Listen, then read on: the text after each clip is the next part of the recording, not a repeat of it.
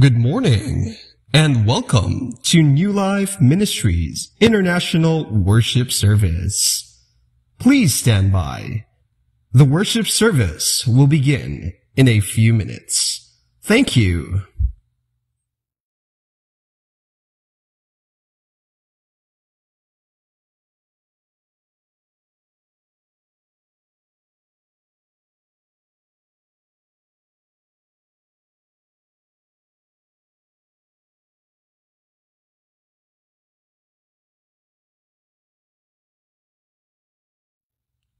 Good morning and welcome to New Life Ministries International Worship Service.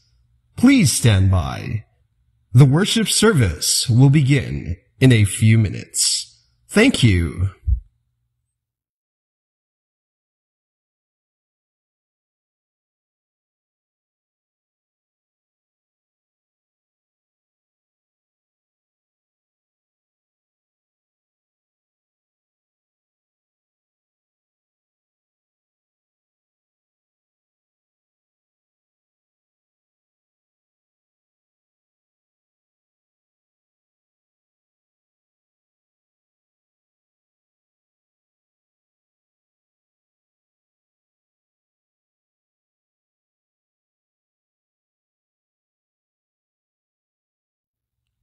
Good morning and welcome to New Life Ministries International Worship Service.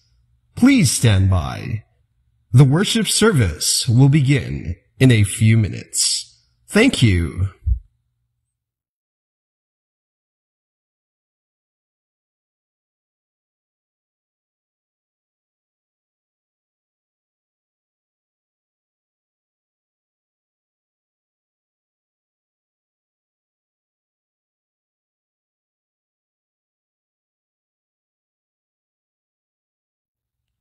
Good morning and welcome to New Life Ministries International Worship Service. Please stand by.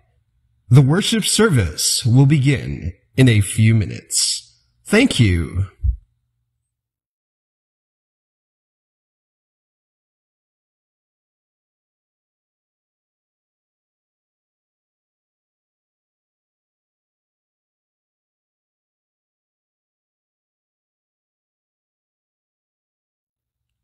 Good morning and welcome to New Life Ministries International Worship Service. Please stand by. The worship service will begin in a few minutes. Thank you.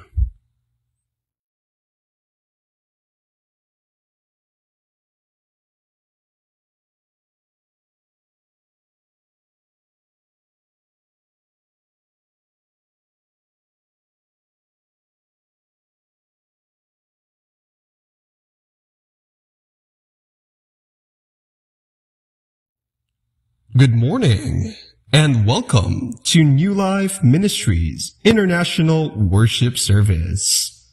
Please stand by. The worship service will begin in a few minutes. Thank you.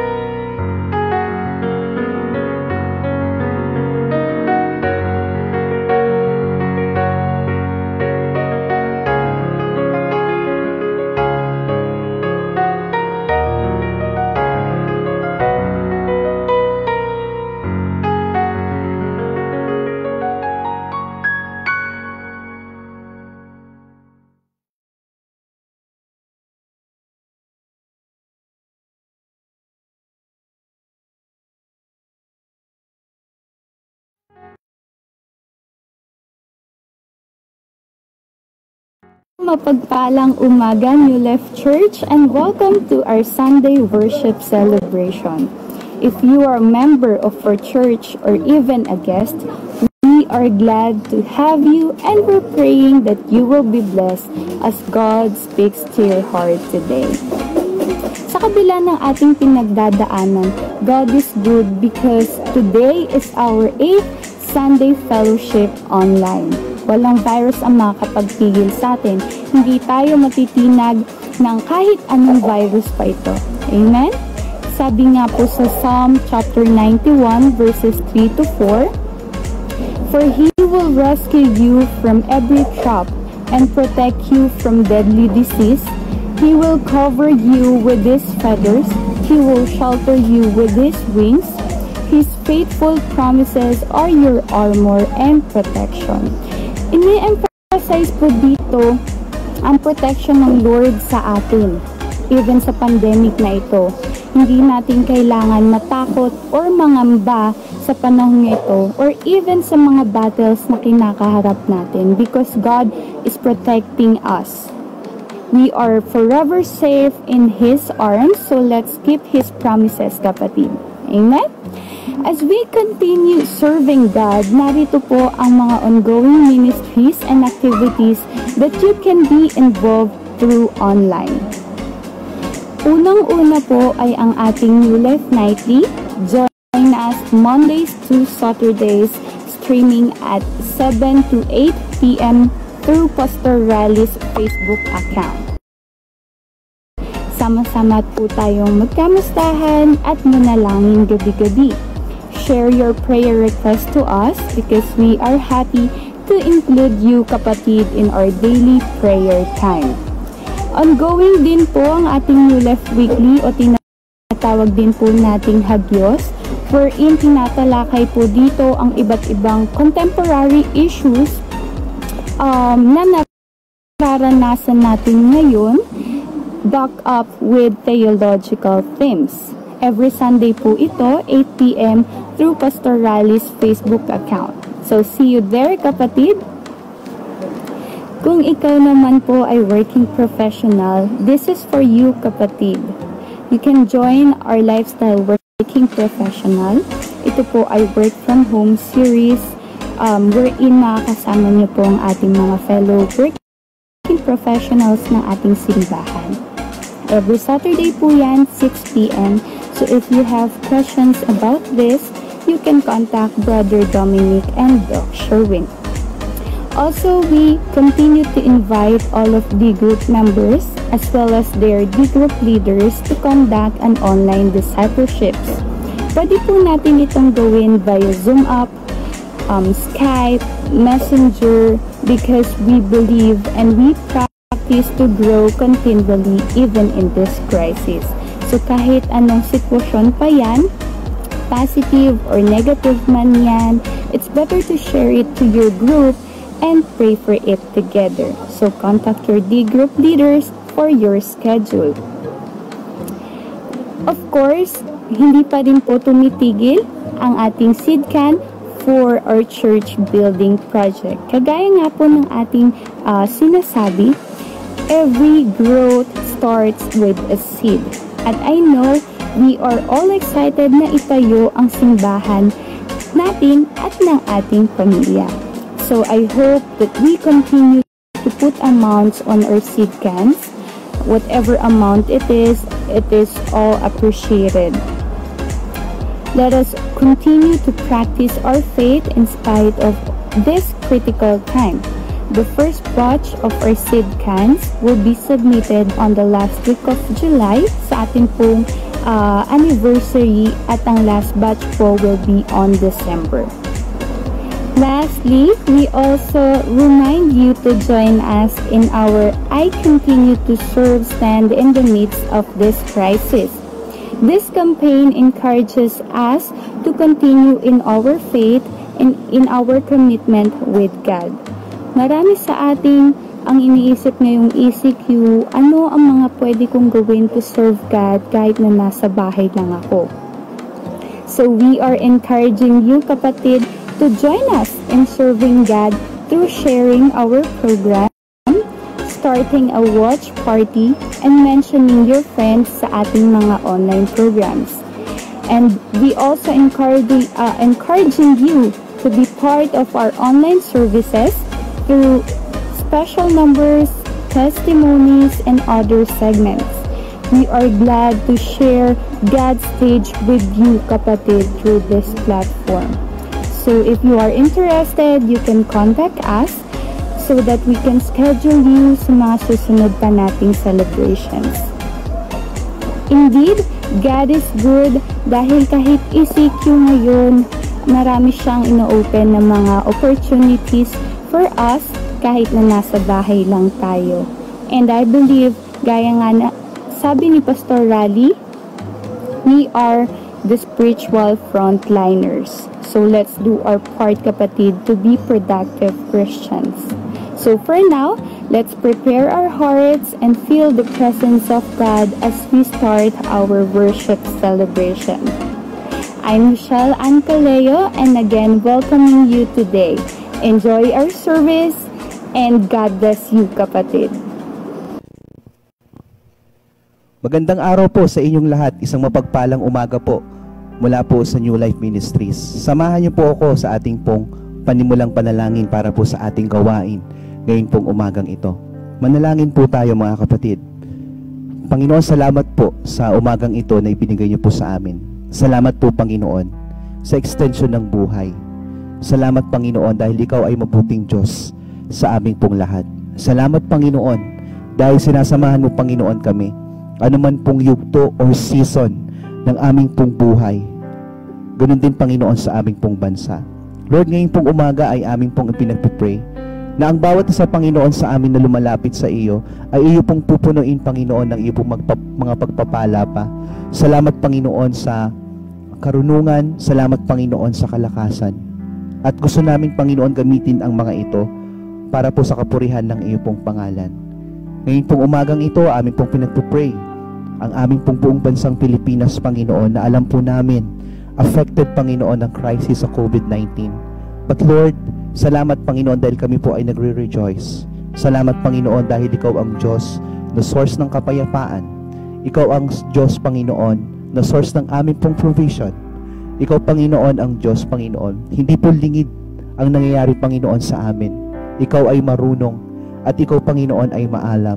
At Lord, naniniwala Panginoon kami na itatawid mo Panginoon kami dito, O God, kaya naman kami po ay nagpupuri ngayon pa lamang. Lord, salamat Panginoon. Pinagpupray namin ang aming po mga frontliners. Patuloy niyo po silang i-bless at gabayan, Panginoon. Even, Panginoon, sa area ng medisina, Panginoon. Patuloy niyo pong i-bless, Panginoon. Para totally Basog po, Panginoon, ang sakit na ito, O God. Biyayaan niyo po, Panginoon, ang aming pong bansa. Biyayaan niyo po, Panginoon, ang aming pong mga leaders na sila pong gumagabay, Panginoon, at nangunguna, Panginoon, sa amin. At gamitin niyo po, Panginoon, ang panalangin ng bawat churches. Panalangin, Panginoon, ng iyong mga anak, O God, na ito pong problemang ito, Panginoon, ay totally mapapagtagumpayan po namin at mapagtatagumpayan, Panginoon, ng aming pong bansa. Ngayon pong umagang ito, Panginoon, ay aming pong inilalaan, Panginoon, ang aming pong mga sarili, ang aming pong mga puso, ang aming pong mga isipan, Panginoon. Na sa pagkakataong ito, Lord, kami po ay mag-worship Magfo-focus, Panginoon, sa iyo pong salita. Magfo-focus, Panginoon, sa kung ano po, Panginoon, ang gusto niyo pong sabihin sa amin bilang iyo pong mga anak. Maraming salamat, O Diyos. Ikaw ay mabuti.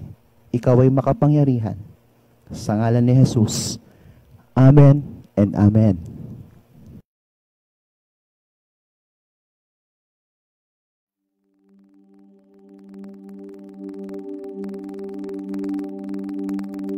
Amen and good morning mga kapatid. Welcome to another Sunday worship service. Truly this is the day that the Lord has made and we will rejoice and be glad in it. Despite our current situation, our God is always good and He always holds us in the palm of His hands. And we believe that He is in control. He will never leave us nor forsake us. That's why we have a reason upang patuloy na mag-worship at magpuri sa Kanya. Yeah, wherever you are in your house right now, please join us as we continue to worship Him with these songs of praise. So let's join in church. Come on.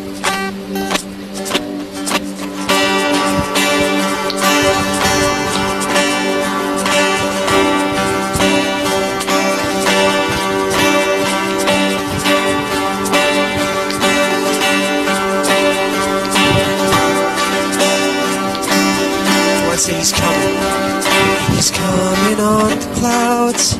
Kings and kingdoms will bow down.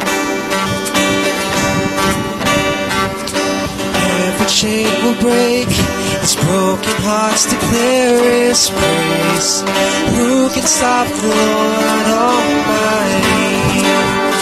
Our God is a lion, the Lion of Judah. He's roaring in power and fire battles. Every knee will bow before Him. Our God is the Lamb, the Lamb that was slain for the sin of the world. His blood breaks the chains. Every knee will bow before the Lion and the Lamb. Every knee will bow before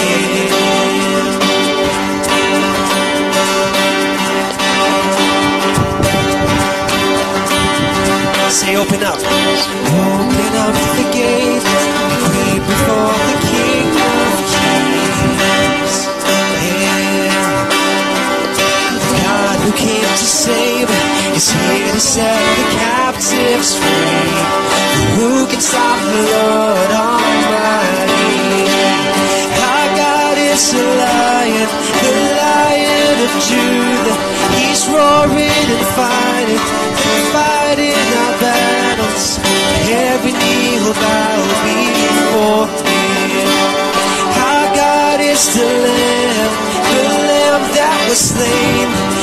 The of the world.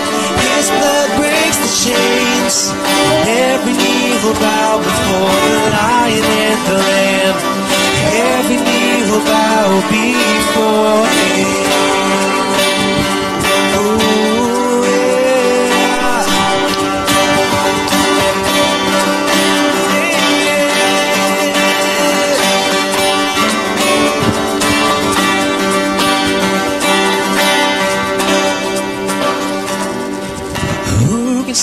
Lord Almighty?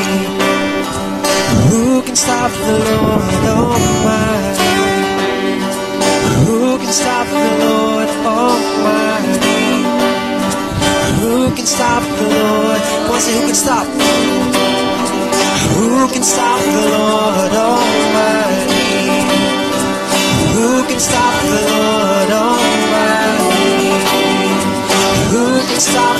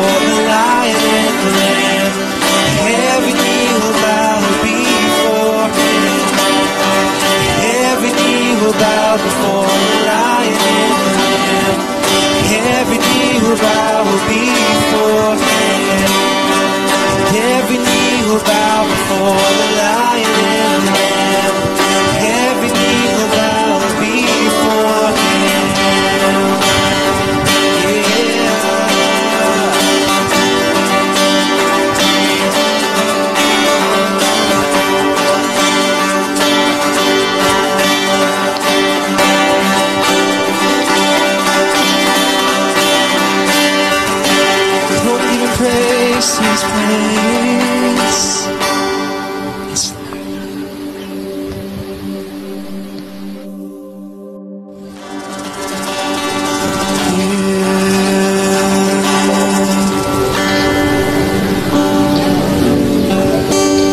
Yes, Lord. We continue to worship you in this place, Panginoon. And despite itong situation po namin ngayon, still have a reason, Lord God, to worship you with all our hearts. Teach us, Panginoon, not to be overcome by any fear or by any worry or by any doubt, Panginoon. For we are your children and you've promised us, Panginoon, na ikaw ang mag-provide, ikaw magbibigay, Lord God, ng security, ikaw magbibigay, Lord God, ng healing, Panginoon, and all the things that we need. Right now, Panginoon, as uh, we are the children of God, Remind us, Panginoon, that you cover us, Lord, and behold us. As we continue, Lord God, to worship you in this place, we declare your mighty power over us, Panginoon, yes, Lord.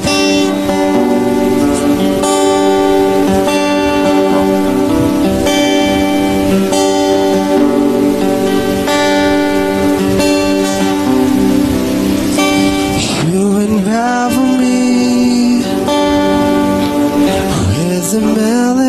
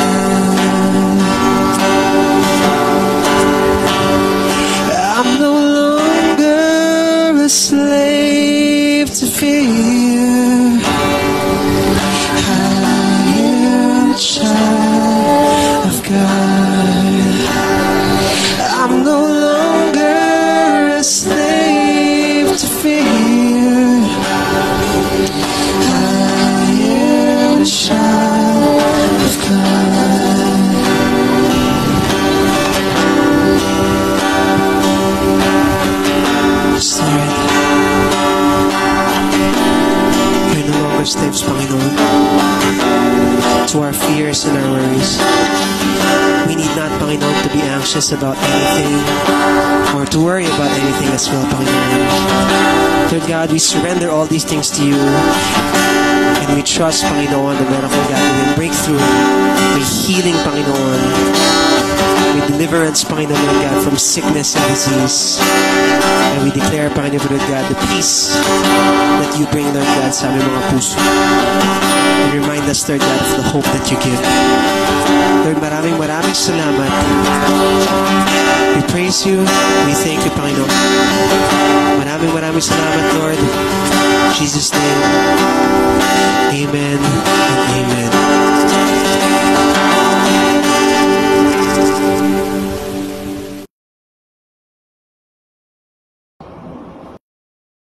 Magandang umaga po sa ating lahat. Tunay nga po na napakabuti ng Panginoon sa ating buhay. Sa kabila po ng mga nangyayari sa ating paligid, ay nananatili po siyang tapat.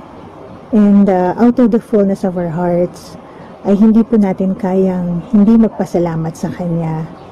And one way of thanking Him is through our tithes and offerings. Ang sabi po sa scripture, sa Malachi chapter 3 verse 10, Bring the whole tithe into the storehouse, that there may be food in my house. Test me in this, says the Lord Almighty, and see if I will not throw open the floodgates of heaven and pour out so much blessing that you will not have room enough for it. Hindi lang po tatapatan ng Lord ang ating katapatan, kaya po po niyang higitan ito. Bago po tayo magbigay, God is challenging us to be faithful. And as we give, si Lord naman po ang nag-challenge para i-bless tayo. Giving is a sign of our love for God and is also an opportunity to bless other people. Paano po nga po ba tayo makakapagbigay? You can send your tithes and offerings through GCash or BPI Family Savings Account na makikita niyo po sa screen. Tayo pong lahat ay manalangin. Lord Jesus, we thank you for your goodness sa aming pong buhay. Marami pong salamat sa patuloy niyo pong pag-iingat sa aming pamilya. We thank you, Lord. Tunay nga po na everything comes from you, O God. Marami pong salamat, Panginoon, sa kabutihan niyo po sa amin.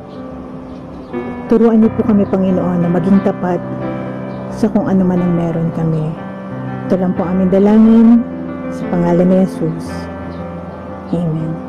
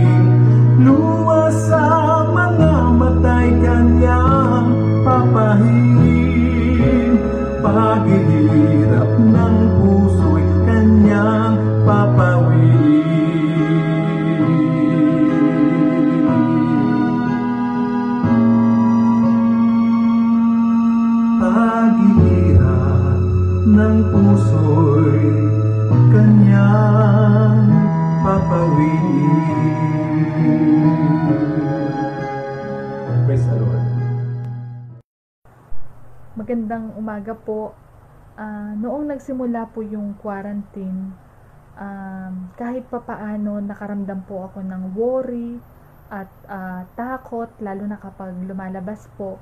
Siyempre, hindi po natin alam yung, yung virus sa paligid po natin. Noong ah, na-required po kami sa company na mag-work from home, ah, nagkaroon po ako ng medyo konting adjustment sa sitwasyon ah, yung settings po ng workplace dito sa bahay kasi limited yung resources. Minsan may mga distraction na hindi po ako makapag-focus sa work. So, need ko pong i-balance yung time ko sa mga gawaing bahay, time for daily devotion, at time po para sa trabaho. And nakaramdam din po ako ng pagod physically at mentally. But uh, through God's grace, after a week na naayos ko po yung aking daily routine, yung schedule ko, para makapagtrabaho po ako ng maayos at the same time yung devotion at yung ah, time sa iba ay magawa ko po sa maghapon. At mas ah, hinabaan ko na lang po yung yung pasensya ko sa sitwasyon na meron po ako at sa crisis na meron po tayo ngayon, ang natutunan ko po is to put my hope in God, to pray persistently, and to trust His power na kaya pong baguhin ng Panginoon ang ating sitwasyon and His miracle na mawala po itong pandemic virus na ito. At dahil po sa pagbabasa at pag-aaral ko po ng salita ng Panginoon, ah, nalaman ko po yung mga pangako niya sa atin na pwede po nating panghawakan sa buhay at ah, magbibigay po ito sa atin ng pag-asa, ng kagalakan at kapayapaan sa mga panahong ganito, in times of trials at uncertainty. Isang halimbawa po ng pangako ng Panginoon sa atin ay matatagpuan po sa book of 1 Peter chapter 5 verse 7. And it says, Cast all your anxiety on Him because He cares for you. ito pong pangako na ito ay nagbibigay po sa akin ng comfort, uh, lalo na sa mga panahon ngayon, at uh, naging reminder po siya sa akin na ipagkatiwala po sa Diyos ang mga sitwasyon or bagay na hindi po natin controlled, yung mga worries, worries ko po sa buhay, at tayo po ay kanyang tutulungan. During this quarantine, um, masasabi ko pong mas lalo kong naramdaman yung faithfulness, yung care, at uh, presensya po ng Panginoon sa buhay ko at ng aking pamilya. And I am thankful for His grace, His protection, uh, comfort, and provision po. Hindi lang sa buhay ko, pati po sa buhay ng aking pamilya, dahil hindi po kami pinapabayaan ng Panginoon. At masasabi ko rin po, uh, this time of quarantine, uh, binigyan po kami ng, ng oras ng Diyos na mag-reconnect po kaming magkakapatid at uh, ma-appreciate po namin yung uh, presensya ng bawat isa. And sa panahon po na meron po tayo ngayon, let us be grateful and we're so blessed po na healthy po tayo, safe po tayo, and we have the opportunity to worship and glorify our Lord. And today, I am taking my steps in following and serving Jesus. Yun lamang po and thank you.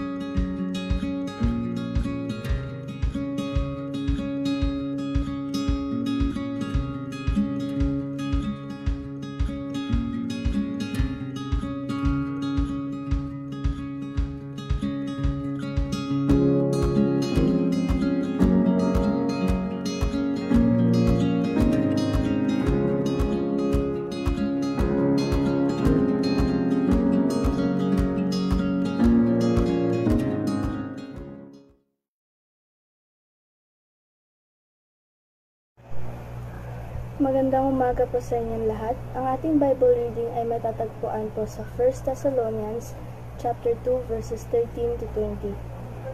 Verse 13. We always thank God that you believe the message we preach. It came from him and it isn't something made up by humans. You accepted it as God's message and now he is working in you. Verse 14. My friends, you did just like God's churches in Judea and like the other followers of Christ Jesus there. And so, you were mistreated by your own people in the same way they were mistreated by their people.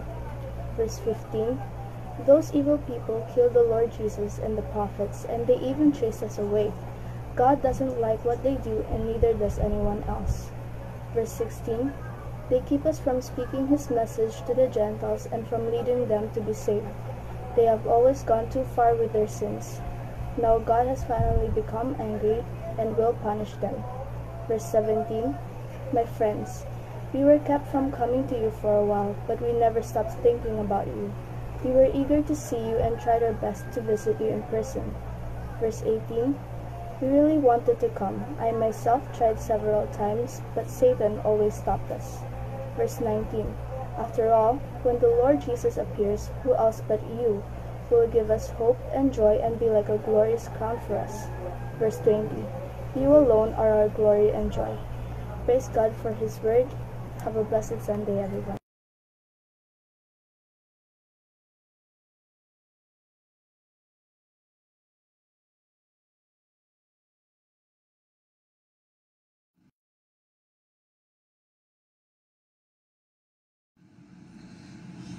Nanaginip ako lately na natapos na daw itong quarantine natin na bumalik daw po tayo sa ating ah, dati na buhay, no? Ah, yung bang ah, nakahinga na ng wala ng mask, tapos ah, mm, malaya ka na rin nakalabas kahit walang pass. Ito yung ah, ah, masaya at ligtas at sama-sama tayong ah, dati, hindi ba? And ah, kasi nga we believe na we are better together. Ito yung better times natin, hindi ba? Pero malamang kayo din ay merong ganitong nais o ganitong dream na tayo will go back to our used to be life, 'di ba? Yung bang ah, ah, malaya, masaya, ligtas at magkakasama. Kaya lang ang ah, ang katotohanan may gising pa rin tayo doon sa kung ano ang reality ngayon na bitter times. Yes, magkakasama, pero sabi natin hindi masyadong maganda ang sitwasyon. Gawin natin siguro yung ating dream na hawak ngayon ay ilagay natin sa kamay ng Diyos upang ito ay maging reality. Let us come before the Lord sa prayer. Lord, we thank you sa opportunity to come to you and to bring, Lord, the desires of our heart. Nainiwala, Panginoon, kami that it is you, Lord God, who gives dreams. It is you, Lord God, who gives reality to those dreams. Salamat, Panginoon, sa oras, Panginoon, ito. Bless this morning's worship, Lord God. Maraming maraming pa, Panginoon, salamat sa ngalan ni Jesus. Amen. Amen. Sa ating pag-aaral sa 1 Thessalonians, napansin po natin na si Paul, meron po siyang running team patungkol po sa ah, hope o pag-asa. Dahil nga po sa panahon po noong araw sa Thessalonica ay sadya pong napakahirap. If you're a believer back then, napakahirap umamuhay because you will be intimidated and even persecuted. Ito po ay nangyari ah, na rin kay Paul nang siya ay usigin at ah, mapaalis doon po sa lugar na yon.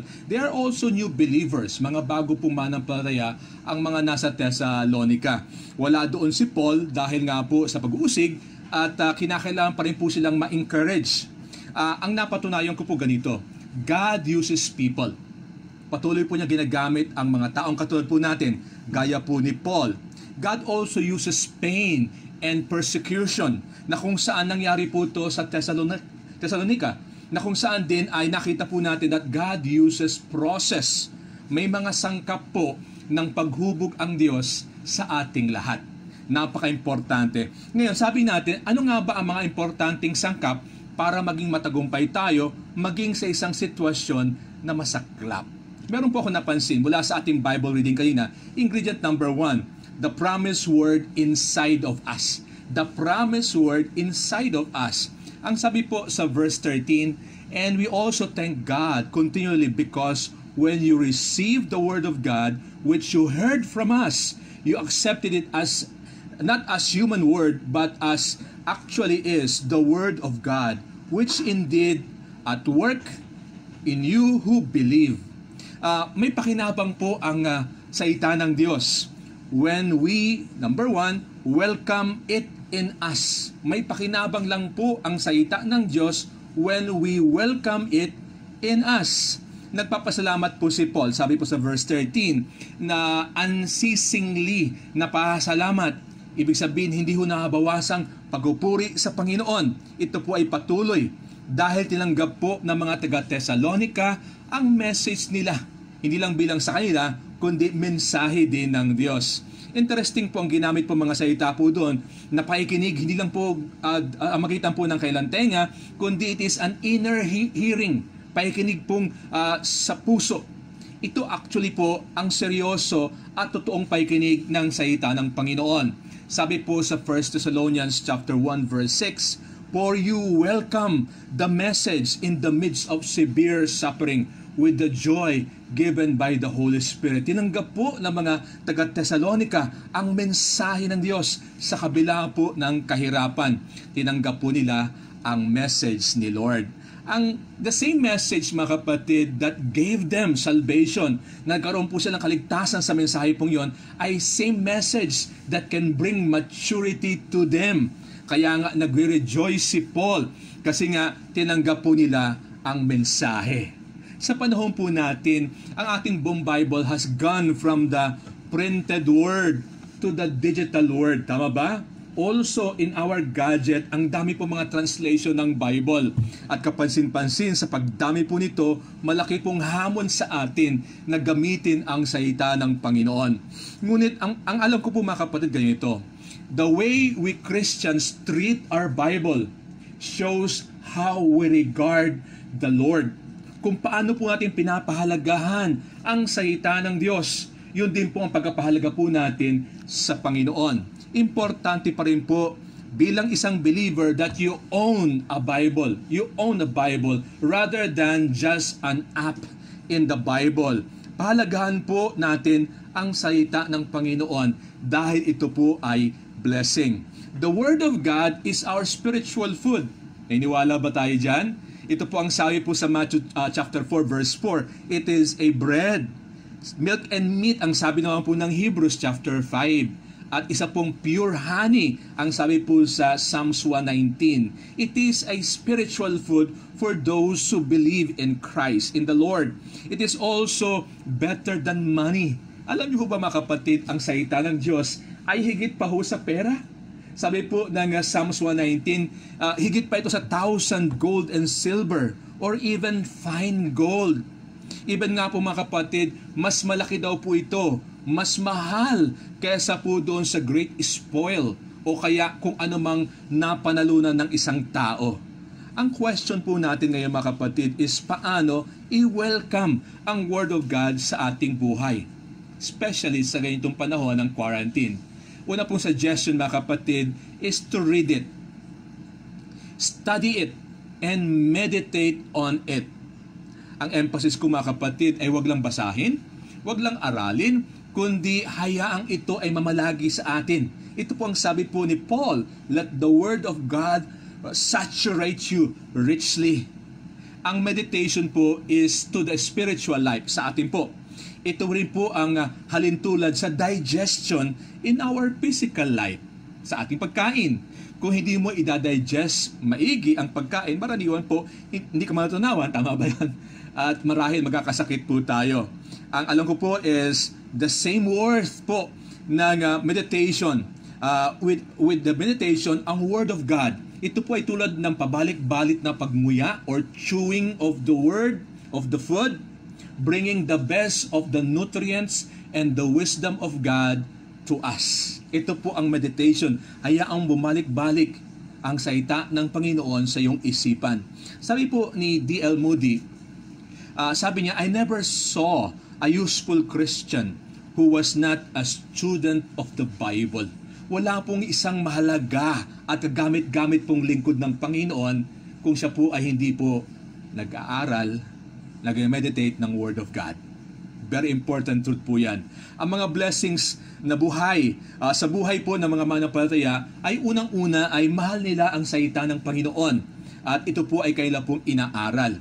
May pakinabang po ang God's Word when we welcome it into our lives.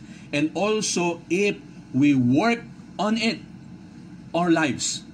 Work it on our lives hayaang ito ay may apply sa ating buhay. Ang sabi po sa Book of James, hindi lang dapat tayo tagapakinig ng salita, kundi tayo po ay doers of the word. Huwag lang magtapos sa pakikinig, kundi ang resulta ay isagawa ito. Katulad ngayon po, you are listening to this message. Maganda po yan. Magandang simula po yan. Pero nawa, wag lang po tayo magtapos po doon. Hanapin po natin ang application po ito sa ating buhay. When we believe and obey God's word, the Lord releases. Pinapalabas ng Panginoon ang kanyang power at uh, to fulfill His purposes. Ang malinaw po ay kung ating pong hahayaan uh, maghari ang salita ng, ng Panginoon sa ating mga buhay ay iya at i-apply sa ating mga pang-araw-araw na buhay, the whole person will be changed. Ikaw ay may change. You will be controlled by God and your life will be victorious. Ito po ang sabi sa last verse ng uh, ating binasa kanina sa Bible reading. Verse 13, ang sabi po doon, which is indeed at work on you who believe. Ang salita po ng Diyos ay mas may pakinabang sa lahat ho ng may mga pusong handa para dito. Powerful ang word ni Lord tulad ng two-edged sword, dalawang dalawang uh, talim na espada na pwedeng mag-penetrate po sa kalooban ng isang tao ngunit ito ay more effective and more active to those who believe. Do you believe the Word of God? Sabi po doon, there is benefit and effect to those who believe. Dapat patuloy na maging grateful po tayo pagpasalamat sa pag-receive ng mga believers sa salita ng Panginoon. Dahil tulad po doon sa Thessalonica, marami pong tumanggap, pero marami din pong tumanggi magpasalamat po tayo sa mga tao na ating pong nasyira ng salita ng Panginoon at tumatanggap sa mensahe. Mahalaga po ang Word of God. Pero ano ba ba ang mga iba pang kailangan nating sangkap? Baka kasi may kulang ka pa. Paano ka magtatagumpay ngayong bitter ang times? Importante ang powerful Word of God, yung mga promises niya. Importante rin po ang people around us. Sabi po sa verse 14, For you, brothers and sisters, mga kapatiran, became imitators of God's churches in Judea, which are in Christ Jesus. You suffered from your own people the same things those churches suffered from the Jews. Makikita po natin dito sa verse 14, unang-una yung faithfulness ng mga faithful uh, dito sa kanilang katapatan sa gitna ng kahirapan o suffering na ang sense po ay intense na masamang karanasan ang nangyari sa kanila. At para daw pong ginaya nila ang halimbawa po ng mga taga-Judea na faithful pa rin kay Lord. Isa pong patunay na ang suffering natin for the Lord are common to all. Common sa lahat. Hindi lang ikaw ang nahihirapan because you are faithful kay Lord. Sa, ilang, sa ibang lugar, ang suffering ay pwede itong mga hulugan ng kailang buhay. O kaya pagkuha ng kaila po mga ari-arian. Sa atin, pwede po itong ikaw ay sabihan ng mga masakit na salita o kaya paalisin ng iyong pamilya dahil sa iyong bagong faith o kaya naman, halimbawa naman, ikaw po ay nag-aantay po ng promotion, but the promotion pass you by. Hindi ibinigay sa iyo because of your Christian beliefs. Ang paniwala po natin, meron po tayong suffering dahil we are faithful in the Lord. Ang sabi po ng mga sources, ang distance po ng Judea at Thessalonica ay mahigit 1,500 miles. Napakalayo po nila. In fact, sabi po nila, kung magdadrive ka ng non-stop, it will take you 28 hours or more para marating mo po yung distansyang yon. Pero sa kabila po ng napakalayong distance ng Judea, sa kanila, sila po ay parehas pa rin ng passion para kay Lord. They are both imitators of the suffering of Christ. Hindi na mahirap maging tapat sa Panginoon dahil meron po tayong mga gagayahan ng katapatang mga kapatid sa Panginoon. today marami ang tapat maging sa mga naranasang mahihirap na bahagi ng buhay. Meron ka bang alam na ganito mga storya ng katapatan maging sa gitna po ng kahirapan? Ngunit ang country na that is around also ta, sa Thessalonica, kaya na may faithfulness, di ba? This time, there is also the foolishness of the faithless. Verse 15 and 16, pansin niyo mga kapatid, who killed the Lord Jesus and the prophets and also drove us out. They displease God and are hostile to everyone in their effort to keep us from speaking to the Gentiles so that they may be saved. In this way, they always heap up their sins to the limit. The wrath of God has come upon them at last. Verses 15 hanggang 16. Ang mga kalaban po ng Ebanghelyo ay hostile.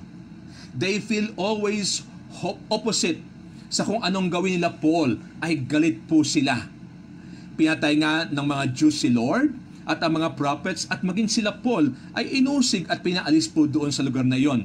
Ang walang kahulugan pong galit ang napansin po natin ay lagi pong lumalala hanggang ito po ay humantong sa pagpatay. Ang, ang dahilan dito ay lalo po it nilang nagalit ang Diyos. Ginalit po nila ang Lord with this kind of actions. Pinigilan nila mag-share sila Paul dahil akala po nila sila lang po ang tama. Ito ang isa sa dahilan ng rejection po ng mga Hudyo sa Kristyanismo. Ang pagprotect nila sa kanilang tradisyon at paniniwala. Alam niyo po ba ang sayo po sa 1 Corinthians chapter 4 verse 4? The God of this world, this age has blinded the minds of unbelievers so that they cannot see the light. Binulag po ng kaaway ang mga isipan po ng mga tao. Ibang klase po pagbulag ang mata, pero ibas lalo pong matindi pag binulag po ang isipan. Maaaring nakakita, pero hindi po nakikita ang katotohanan. The power of those opposing the gospel is Satan himself and his work of blinding the people. Sa ganitong pagharang sa mensahe ng Diyos, ay lalo lamang diagdagan ng mga Hudyo ang kasalanan nila at ang parusa ng Diyos para po sa kanila. Naalala ko po nung araw, meron po ako nabasang istorya patungkol po sa isang zoo na kung saan meron po doon tagapaglinis po na medyo maitad ng matanda. At uh, bawat po mga, mga kulungan ng mga hayop ay kanyang nililinis araw-araw. Meron po doon isang malaking leon na nakakulong at uh, uh, kanyang nilinisan po yung uh, kulungan. At uh, marami po mga tao ang nakatingin. At natatakot din po kasi nga delikado wala man lang siyang gamit na pangdepensa kung sakasakaling atakihin siya ng leon. So linis po na linis yung mama, linis po sa gilid, sa kabilang gilid, hanggang marating po niya yung pwesto po ng leon na kung saan po ay paminsan-minsan ay umaatungal. Ang isip po ng mga tao sa kanya nakatingin ay siguro hindi na po lilinisan yung banda sa leon kasi nga nakakatakot at umaatungal pa nga. Pero mamaya po ng kaunti ay iwinasiwas po ng uh, naglilinis ang kanya pong pangwalis at uh, akma pong uh, uh, papaalisin yung leon at tumayo naman po yung leon although uma, uma, umuungol po siya ng parang pagkainis at nalinis po niya yung paligid ng kabuuan po ng kulungan. At lumabas na po siya ng kulungan. Marami po mga tao ang bilib na bilib po sa kanya. Sabi na, paano mo nagawa yon? Hindi ka man lang natakot? Alam mo ba sayo po ng tagapaglinis ng kulungan, sabi niya, ah, hindi na ako takot dyan. Unang-una matanda na yung leon at wala na siyang ngipin. Mga kapatid, ang ating pong kaaway, the devil is alive and he is very much active to destroy our lives. In parang sayo po ng John 10.10, the enemy comes to steal, kill, and destroy us. Ang nais ng kaaway ay sirain ang kung ano mga bagay sa atin. At ang pwede niya pong gamitin lagi, mga kapatid, ay kung anong available means sa kanya. Ang promise word inside of us, and even the people that is around us. Kaya nga mga kapatid, dapat yung mga sangkap na yan, let's take it and use it so that we can be victorious. Patuloy po ang ating pong bitter times, pero pwede tayong maging better even in those times kung kukunin po natin yung pangatlo, which is the ingredient number three, potential and hope in front of us Meron pong pag-asang nakalaan sa atin. Sabi po ng verse 17, But brothers and sisters, when we were orphaned by being separated from you for a short time, out of our intense longing, we made every effort to see you. Kitang-kita po dito, unang-una, ang desires of the godly. Ang piling po ni Paul ay malalim na pangungulila. Torn away po ang sabi po sa English para po may nahati o nasira sa kanya. Tulad po ng may mga inalis sa kanyang kalooban. Dahil po si Paul ang naging ama at ina ng kailang pananampalataya. Ngunit ang pagkakahiwalay mga kapatid ay distance lamang, hindi po sa puso. Kundi sa puso po ay naroon pa rin si Paul sa kanila. So, sabi po dito, ito rin ang sinasabi niya sa Philippians chapter 1 verse 7. I have you in my heart. I have you in my heart. Sabi niya, nasa puso ko pa rin kayo. Dahil sa malalim pagmamahal, ang distansya po ay hindi harang para magpatuloy ang, ang kanyang pagmamahal at ang pagnanais niyang makita silang muli. Naroon po yung desire at also naroon din po ang destruction of the ungodly. Ano pong sabi sa verse 18? For we wanted to come to you. Gusto po nila pumunta doon sa Thessalonica. Certainly I, sabi niya, Paul, did again and again, but Satan blocked my way. Sa panahon ng mga testings at troubles, naging mahalaga po ang pagtingin sa long view of life hindi lamang yung present na meron pong difficulties ang dapat tignan, kundi ang future na meron pong rewards at praisings from the Lord. Tama ba? Gustong gusto po ni Paul pumunta sa kanila kasi ito po lamang ang alam po niyang alam nang niyang gawin upang makatulong sa kanila.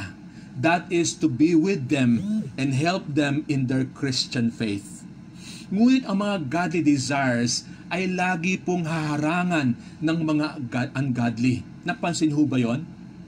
Na ito ay totoo noon. Harangan ng mga kalaban ng gospel ang hangarin ng mga godly. Even po totoo ngayon. Ano mang gagawin pong tama ay haharangan din ng kaaway.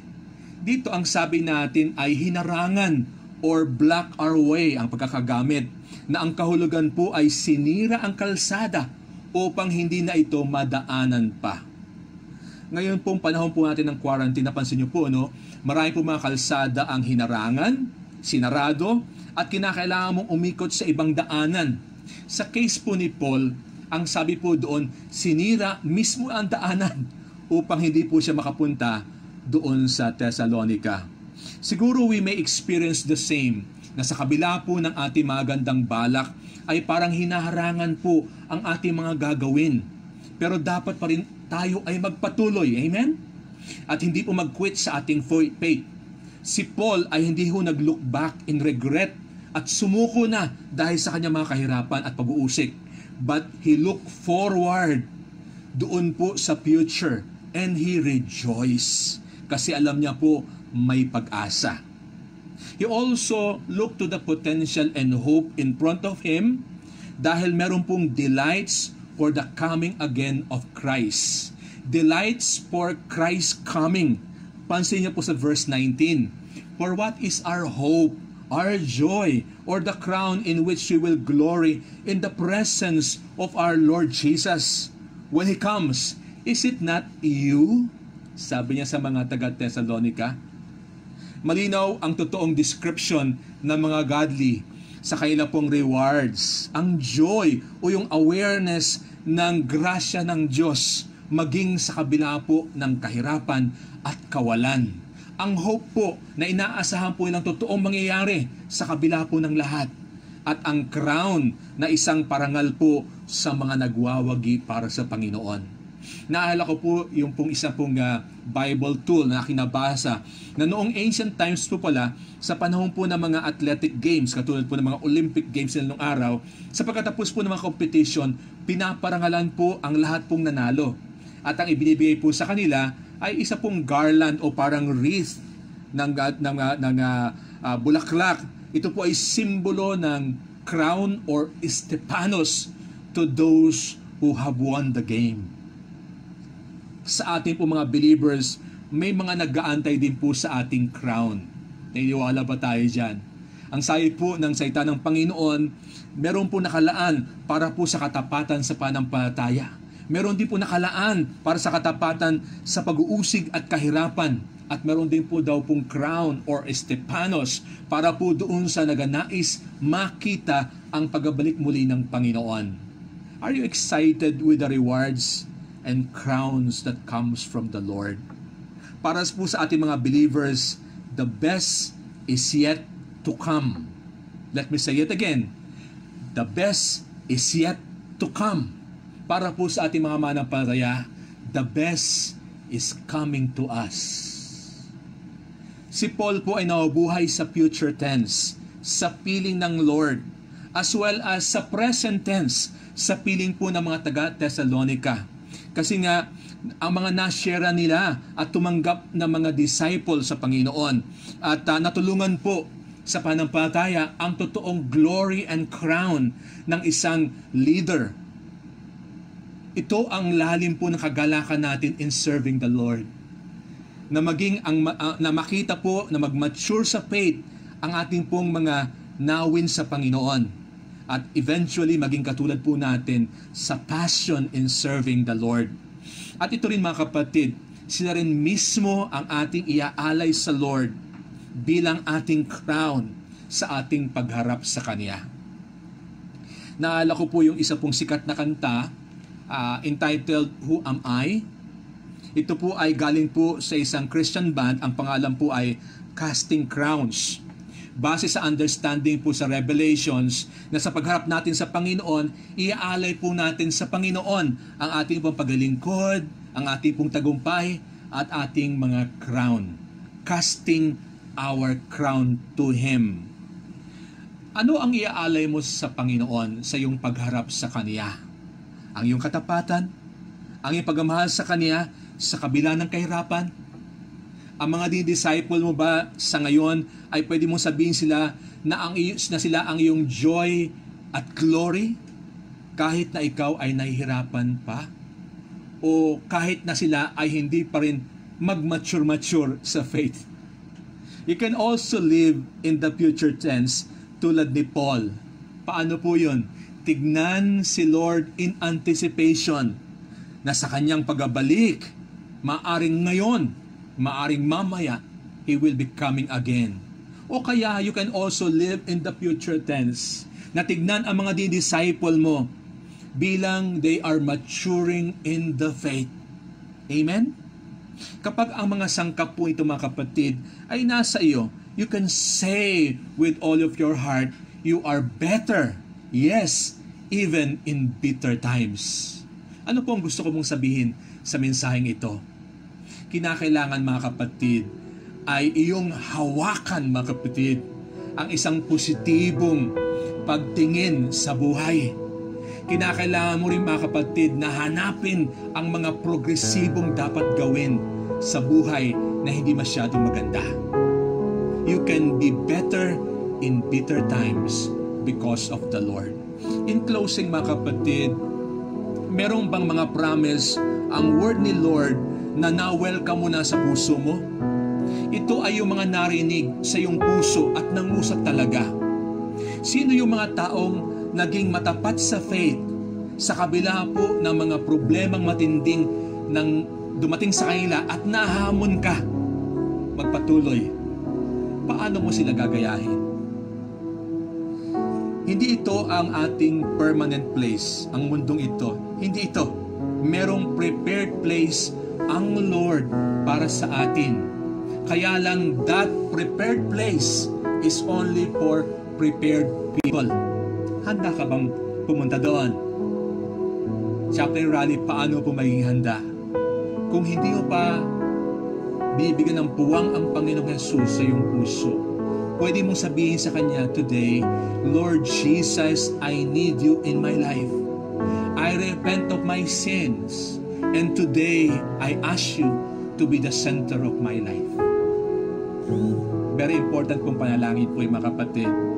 Habang ang lahat ay nahihirapan, what if kaya kung ang mga sangkap ng tagumpay ay nasa iyo, maging sa panahon ngayong masaklap Ano kayang mangyayari pag nakita nila ito sa iyo? Ano ang pwedeng mangyari sa iyong paligid kung makita nila that you are better in bitter times? Ang Diyos po ay mabuti. Ano man ang mangyari, siya po ay mabuti para sa iyo. Tayo po ay manalangin bilang magkatapos. Panginoon, salamat po sa opportunity na kung saan kayo, Panginoon, ay umukod at sumilong, Panginoon, at makinig sa iyong dunong, O God. At mga kaasa, Panginoon, kami na makakuha, Panginoon, kami ng blessings at tulong mula sa iyo. Maraming Panginoon salamat. We thank you and we honor you in Jesus' name. Amen.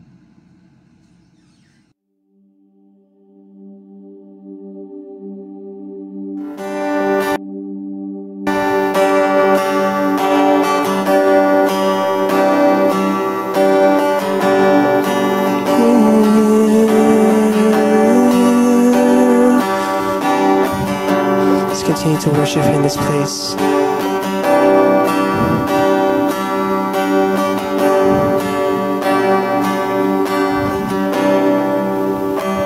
You split. You split the sea so I can walk right through it. My fears were drowned in perfect love. You rescued me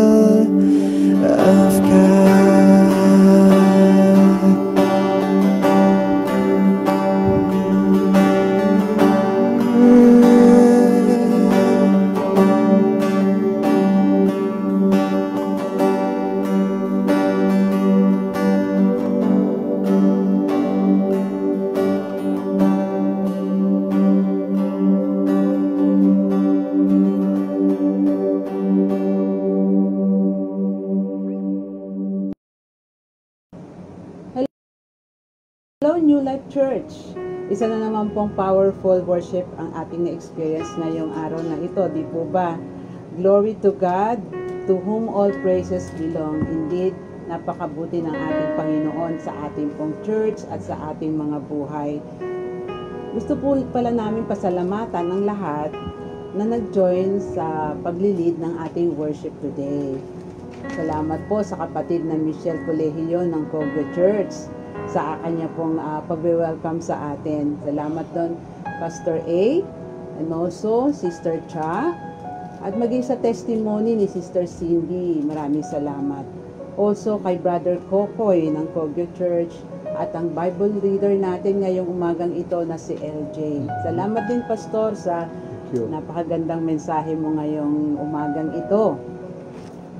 And also, we would like to greet all mothers kasi Mother's Oh, Day ngayon. Mother's Day, Diba? yeah. So, binabati namin lahat ng ating pong mga nanay, ang mababait at magagandang mga nanay ng New Life Cubao at New Life Kogyo. Happy Mother's Day po. Mother's Day.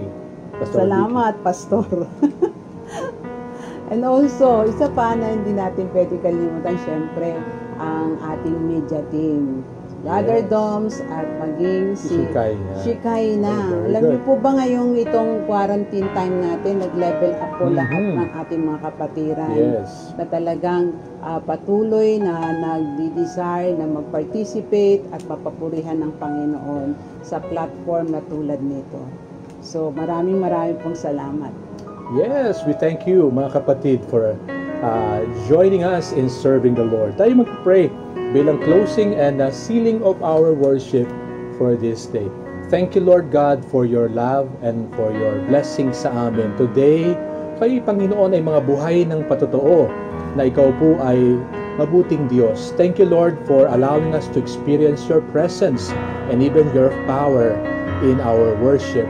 We bless po Panginoon ang bawat isa. I pray, Lord, for someone in this uh, gathering, Lord God, who is watching and joining us. Marahil, Panginoon, may problema, Panginoon siya. Would you touch that person?